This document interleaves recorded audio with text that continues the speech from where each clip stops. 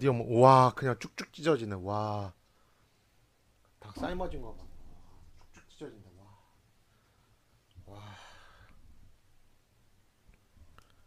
대박. 와. 와. 씨발 쭉쭉 찢어진다 와. 와. 와, 살 진짜 잘 익었다. 고생한 보람 있네. 와. 감자도 완전히 와 완전히 으스러졌네.